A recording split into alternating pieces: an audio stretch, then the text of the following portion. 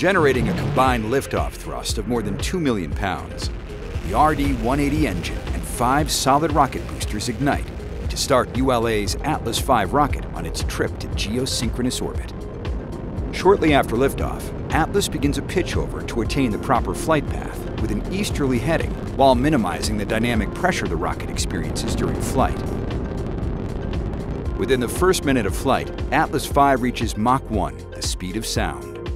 Within the next two minutes of first stage flight, the Atlas V rocket will quadruple its velocity, following jettison of the five GEM 63 solid rocket boosters. The multi-satellite SILENTBARKER mission is encapsulated inside a 5-meter diameter payload fairing, which is a sandwich composite structure made with a vented aluminum honeycomb core and graphite epoxy face sheets. Once the rocket has climbed above the densest part of Earth's atmosphere, the payload fairing is jettisoned, and the mission continues to its final destination, where it will improve space situational awareness.